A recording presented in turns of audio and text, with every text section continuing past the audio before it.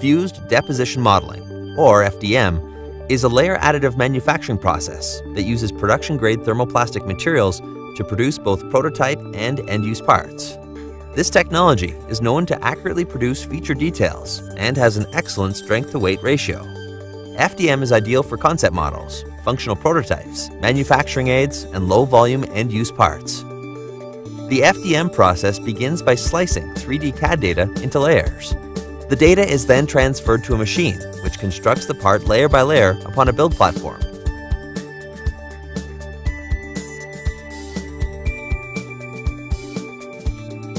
Thin thread-like spools of thermoplastic and support material are used to create each cross-section of the part.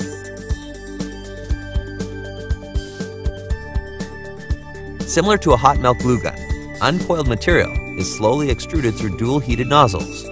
The extrusion nozzles precisely lay down both support and thermoplastic material upon the preceding layers.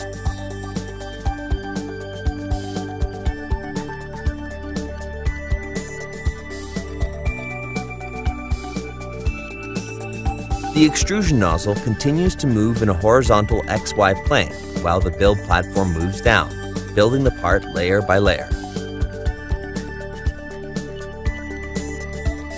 Finished part is removed from the build platform and cleaned of its support material. Raw FDM parts have visible layer lines. However, service providers offer multiple finishing options to create smooth, even surface parts including hand sanding, assembly, and cosmetic paint.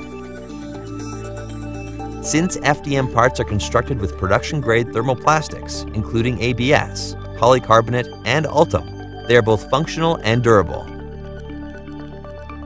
FDM is utilized in a number of industries, including aerospace, automotive, industrial, commercial, and medical.